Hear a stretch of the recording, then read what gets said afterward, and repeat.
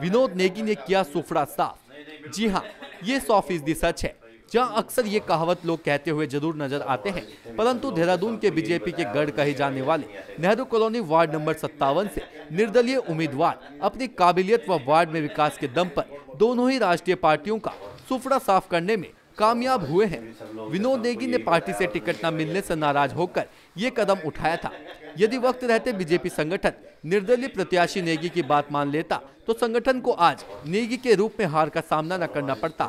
Party की एक छोटी सी गलती से आज बीजेपी अपनी सीट के साथ विनोद नेगी जैसे कर्मठ व जुझारू नेता को भी गंवा बैठी है, जो कि पार्टी के लिए किसी सदमे से कम नहीं है, जिसका असर आने वाले लोकसभा चुनाव पर भी पड़ने वाला है।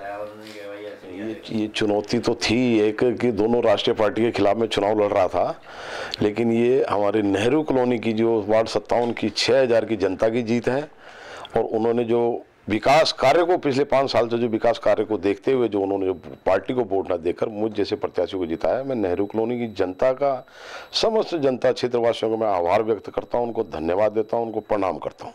आपको लगता है जिस तरीके से फोर्ट से बीजेपी के गढ़ माना जाता है, वहाँ पे कहीं ना कहीं सिंबल जो सिंबल है कहीं काम ने काम, काम नहीं है कद और चेहरा ही आगे होकर उसको जनता की आपके मुद्दों से जिताने की कोशिश की। क्या कैसे मानते हैं ये गलत है कि सब लोग जो है कि जनता को अपना गुलाम सोच लेते हैं कि ये पार्टी से जुड़ा हुआ जनता ये चुनाव को देख के लगता है कि जनता विकास कार्यों को भी वोट देती है। आपने इसको प्रूव करके सच करके दिखा दिया कि बैनर कार्यकर्ता के लिए मायने नहीं रखता। कुछ कार्यकर्ता होते हैं जो पार्टी से जुड़े होते हैं, वो उनके लिए सिर्फ़ पार्टी का दिया होता है, उनके लिए प्रत्याशी देने होता, लेकिन जनता जो होती है, उनके लिए पार्टी नहीं होती है, उनके लिए काम विकास कार्य ज़्यादा होते हैं। जिस तरीके से विकास के नाम पे जाने जाते हैं, विकास के नाम पे लोग, जनता ने आपको वार्ड में जिता के आगे निगम में भेजा है तो अब प्राथमिकता क्या होगी? जो ताकि आपकी पाँच साल पूरे समय है तो जो लोगों में रुझान थे, नाराज़गी थी, क्या उसको पूरी कर पाएँगे? देखो, जनता ने जो है कि विकास कार्यों को वोट दिया है तो अब जनता की उस पर जो है कि खराई उतरना है तो इसके लिए जो है कि अब पाँच सात दिन बाद हम जितने लोग हैं, हमारी जो टीम थी, हम सब लोग बैठेंगे कि कैसे कैसे इसको विकास कार्यों को आगे बढ़ाया जाए।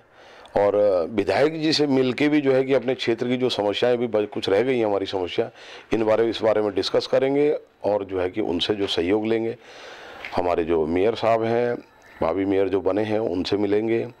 सफ़ाई की व्यवस्था जो है कि बहुत चरमरा रखी है इसको देखेंगे। बाकी सब लोग मिल बैठ के बात करेंगे तो फिर आगे जनप्रतिनिधि से बात करेंगे अपने जो बड़े जनप्रतिनिधि हमारे। तो नहीं जी लगता है जिस तरीके से आप सात निर्दलीय चुन के आप यहाँ पर निगम में पहुँचे तो आपकी यूनिटी अलग होगी और इनके संगठन से अलग चलग खेमे बनाएँगे आप? नहीं देखो मेरी अभी इस बारे में किसी से बात नहीं हुई है। कौन जीत के आया मुझे ये भी नहीं मैं कल अपना धन्यवाद रैली में व्यस्त रहा हूँ। शाम को लोगों से मिलना जुलना रहा है। आज भी आप देख ही रहेंगे अभी तक मैं घर से निकला नहीं हूँ अभी। तो अभी मेरी किसी से बात नहीं हुई यार। क्या होता है मैं इस बारे में भी कुछ नहीं बता लास्ट सवाल आपसे आपको पता है चुनाव प्रक्रिया होने के बाद इसमें बोर्ड गठन होनी है निगम में। तो उसमें आप आप लोगों की खासकर निर्दलीय की अहम भूमिका रहने वाली है।